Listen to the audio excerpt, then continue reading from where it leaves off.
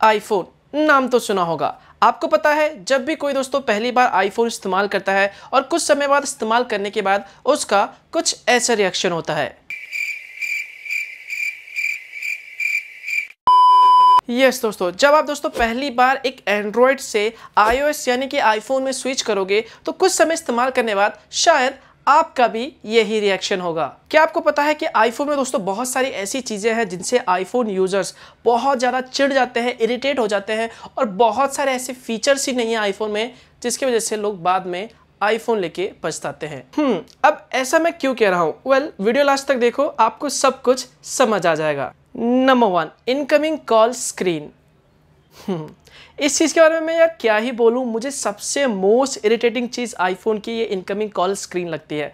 Well, आपने दोस्तों इससे पहले एंड्रॉयड में आपको बहुत सारे कॉल आए होंगे और आपने नोटिस किया होगा कि एंड्रॉयड में जब भी आपके पास कोई कॉल आता है तो आप उस कॉलर स्क्रीन को ईजिली मिनिमाइज कर सकते हैं और दूसरी चीज़ें यहाँ पर टास्क कर सकते हैं जैसे कि ऐप्स ओपन करना इंटरनेट यूज़ करना या फिर जो भी आप पहले से काम कर रहे थे वो चीज़ आप कर सकते हो। लेकिन आईफोन में ये सिस्टम नहीं है। अगर दोस्तों आपको कोई कॉल करता है और आप अपने आईफोन में कोई इंपॉर्टेंट काम कर रहे हो तो भैया वो जो कॉलर स्क्रीन है, वो मिनिमाइज ही नहीं होता। इसके लिए आपको या तो कॉल काटना पड़ेगा या फिर कॉल को रिसीव करना पड़ेगा पिक करना पड़ेगा।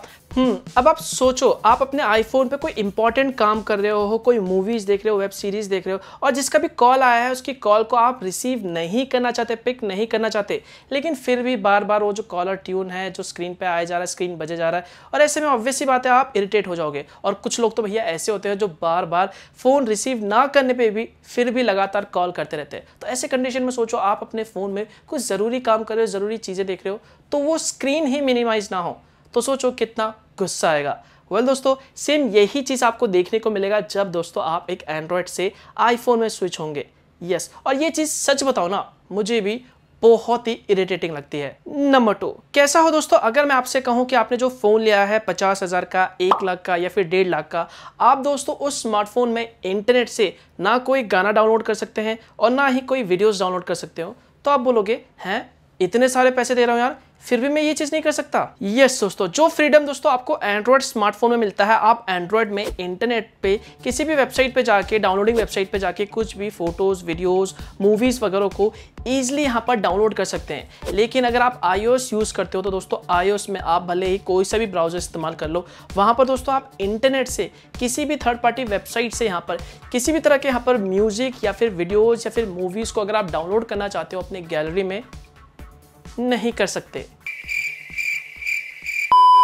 अब दोस्तों आईफोन में म्यूज़िक सुनने के लिए एप्पल अपना खुद का एक म्यूज़िक ऐप देता है, जिसके अंदर दोस्तों, अगर आपको कोई गाना सुनना है, कोई भी अपना फेवरेट सॉन्ग अगर आपको डाउनलोड करना है तो इसके लिए आपको पे करना पड़ेगा यानी कि पेड सर्विस आपको देखने को मिलता है। लेकिन अगर आप बाहर से आपको कोई फेवरेट म्यूज़िक आपने बाहर से डाउनलोड कर लिया कोई मूवीज़ हो गया वीडियोस हो गया अगर आप उसे डाउनलोड करके अपने म्यूज़िक के प्लेयर लिस्ट में या फिर कह प्लेयर में डालना चाहते हो तो वो आप नहीं कर सकते। यस yes, इसके लिए दोस्तों आपको अलग से पहले अपने कंप्यूटर फिर लैपटॉप सिस्टम में आई सॉफ्टवेयर को डाउनलोड करना पड़ेगा। फिर बाहर से आपको किसी वेबसाइट से आपको सॉन्ग्स डाउनलोड करना पड़ेगा। फिर उस आई सॉफ्टवेयर की मदद से आपको अपने आईफोन में सॉन्ग्स को ऐड करना पड़ेगा। तभी आपके म्यूज़िक में वो जो सॉन्ग्स है वो शो होंगे। सोचो, एक नॉर्मल यूज़र है जिसे जो इतना ज़्यादा टेक सेवी नहीं है, अगर वो पहली बार एंड्रॉयड से आईफोन में यानी कि आई में स्विच हो रहा है तो वो सब ये कैसे कर सकता है? फिर वो बोलता है, यार, गाना कैसे डाउनलोड करे? मूवीज़ डाउनलोड करना, वो कैसे करे? वीडियोज़ डाउनलोड करना मुझे इंटरनेट से वो कैसे करे? तो भैया, ये चीज़ आप ध्यान रखना है जब आप एंड्रॉयड से आईफोन में स्विच करते हो तो ये चीज़ आपको झेलना पड़ सकता है। Next customise U I well अगर आप एक एंड्रॉयड यूज़र हो, आप गीक हो तो आपने ज़रूर अपने एंड्रॉयड स्मार्टफ़ोन में तरह तरह के दोस्तों यू आई को चेंज करा होगा तरह तरह के यहाँ पर आपने लॉन्चर इस्तेमाल किए होंगे कस्टमाइज़ किया होगा यहाँ पर अपने मेन्यू को होम स्क्रीन को। लेकिन अगर मैं आपसे कहूँ कि आप अपने आईफोन में ये चीज़ नहीं कर सकते, बिल्कुल भी आपको जो एप्पल दोस्तों यहाँ पर अपना यूआई प्रोवाइड कर रहा है, वही आपको हमेशा के लिए इस्तेमाल करना पड़ेगा। तो सोचो कितना इरिटेटिंग है। यस yes, अगर आप आईफोन यूज़ करते हो तो आपको पता होगा कि जो एप्पल है अपने आईफोन में सदियों से सेम यूआई का ही इस्तेमाल करता है। कितने ही आईओएस आ गए वर्जन अपग्रेड हो गए लेकिन दोस्तों जो यूआई है वो सेम का सेम ही है। चलो सेम तो है इट्स ओके okay, कोई बात नहीं। लेकिन बुरी बात भी यह है कि दोस्तों अगर हम इसके यूआई को चेंज करना चाहें बदलना चाहें कोई लॉन्चर ऐड करना चाहें सिंपल में कहूँ तो दोस्तों जिस तरह से आप एक एंड्रॉयड स्मार्टफ़ोन को कस्टमाइज कर सकते हैं यहाँ पर अपने मेन्यू को यूआई को चेंज करके अपने एंड्रॉयड स्मार्टफ़ोन को अट्रैक्टिव बना सकते हैं वेल well, वैसी चीज़ आप यहाँ पर आईओएस में यानी कि आईफोन में बिल्कुल नहीं कर सकते। नेक्स्ट चीज़ आता है मेमोरी कार्ड वेल आप सभी लोगों को पता है कि एंड्रॉयड में दोस्तों आपको मेमोरी को यानी कि अपने इंटरनल स्टोरेज को एक्सपेंड करने के लिए अलग से डेडिकेटेड एस कार्ड का सपोर्ट भी मिल जाता है। मतलब एस कार्ड के लिए एक सपोर्ट मिलता है। लेकिन दोस्तों आपने आईफोन देखा होगा आईफोन के किसी भी मॉडल में आपको किसी भी तरह के मेमोरी कार्ड का सपोर्ट नहीं मिलता। मतलब उसमें आपको जो फिक्स एक इंटरनल स्टोरेज का सपोर्ट दिया जाता है सेम उतने ही साइज़ को आप इस्तेमाल कर सकते हो। ना आप उसे एक्सपेंड कर सकते हो। यस नेक्स्ट है चार्जर वेल well, आप सभी लोगों को दोस्तों पता होगा जब भी आपको एक नया आईफोन खरीदते हो तो आईफोन में दोस्तों आपको जो चार्जर मिलता है वो बहुत स्लो होता है। यस yes, और आपको अलग से दोस्तों अलग से कुछ एक्स्ट्रा पैसे देके यहाँ पर आईफोन के लिए फास्ट चार्जर खरीदना पड़ता है। मतलब आप आईफोन के लिए एक लाख, डेढ़ लाख रुपए दे रहे हो, लेकिन उसके बावजूद भी आपको अलग से चार्जर के लिए भी पे करना पड़ता है। खैर, ये तो छोड़ो दोस्तों, यहाँ पर आईफोन में दोस्तों सिर्फ़ आईफोन का चार्जर ही आप इस्तेमाल कर सकते हो, किसी दूसरे कंपनी या फिर कह लो दूसरे एंड्रॉयड स्मार्टफ़ोन के चार्जर को आप इस्तेमाल करना चाहो।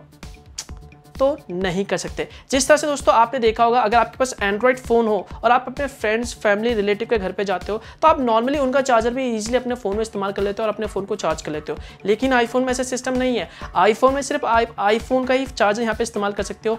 किसी दूसरे कंपनी का या फिर कह लो किसी दूसरा एंड्रॉइड स्मार्टफ़ोन ब्रांड के चार्जर अगर आप यूज़ करना चाहो तो नहीं कर सकते। एप्स डाउनलोड वेल आपने देखा होगा एंड्रॉइड में दोस्तों, आप कहीं से भी इंटरनेट से किसी भी थर्ड पार्टी एप्स किसी भी थर्ड पार्टी वेबसाइट पे जाके आप एपीके डाउनलोड करके सिंपली अपने फ़ोन में एंड्रॉयड ऐप्स को इस्तेमाल कर सकते हैं डाउनलोड कर सकते हैं इंस्टॉल कर सकते हैं। इसके अलावा दोस्तों, आपको प्ले स्टोर में बहुत सारे ऐसे फ्री के एप्लीकेशन मिल जाएँगे। लेकिन अगर दोस्तों हम बात करते हैं आईओएस की, यानी कि आईफोन में तो आईफोन में दोस्तों सिर्फ़ और सिर्फ़ आप एप्लीकेशन को, यानी कि ऐप्स को ऐप स्टोर से ही डाउनलोड कर सकते हैं। किसी भी थर्ड पार्टी वेबसाइट किसी भी थर्ड पार्टी ऐप से डाउनलोड नहीं कर सकते। इसके अलावा दोस्तों, आपको ऐप स्टोर में जितने भी मोस्टली एप्लीकेशन आपको देखने को मिलेंगे, वो सारे के सारे पेड होते हैं। मतलब जिन्हें इस्तेमाल करने के लिए ऑफकोर्स आपको पैसे देने होंगे। मतलब मोस्टली अगर आप एंड्रॉयड से कंपेयर करते हो तो एंड्रॉयड में आपको बहुत सारे ऑलमोस्ट सारे एप्लीकेशन आपको फ्री मिलते हैं। कुछ फ्री सर्विस भी मिलते हैं बट अगर आपको ऐप स्टोर में दोस्तों कोई फ्री सर्विस इस्तेमाल करना है तो उसके लिए पहले आपको क्रेडिट कार्ड इस्तेमाल करना पड़ेगा।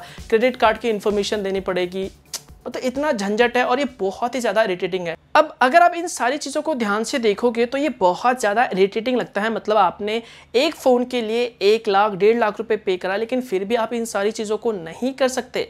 Well, दोस्तों इसके पीछे है एप्पल का रेस्ट्रिक्शन तो यहाँ पर एप्पल ने अपने आई में रेस्ट्रिक्शन लगा रखा है। यहाँ पर सिक्योरिटी की वजह से कि आप ये सारी चीज़ें यहाँ पर आप अपने आईफोन में नहीं कर सकते। हालाँकि दोस्तों ये चीज़ें आप कर सकते हो यहाँ पर सिंपली अपने आईफोन को जेल ब्रेक करके जो कि मैं बिल्कुल भी रिकमेंड नहीं करता। अगर आप अपने आईफोन को जेल ब्रेकिंग करते हो यहाँ पर तो ऑब्वियस सी बात है, आपके आईफोन में जो भी सिक्योरिटी है, या फिर जिस तरह से दोस्तों आईफोन को सिक्योर माना जाता है, वो सब कुछ खत्म हो जाएगा। वैसे दोस्तों, आपको ये वीडियो कैसे लगे? अगर जानकारी अच्छी लगी तो वीडियो को लाइक ज़रूर कर देना, वीडियो को शेयर कर देना ताकि और लोगों को भी इसके बारे में जानकारी मिल सके।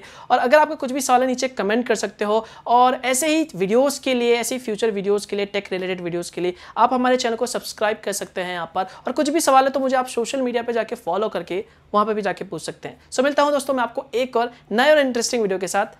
तब तक के लिए बाय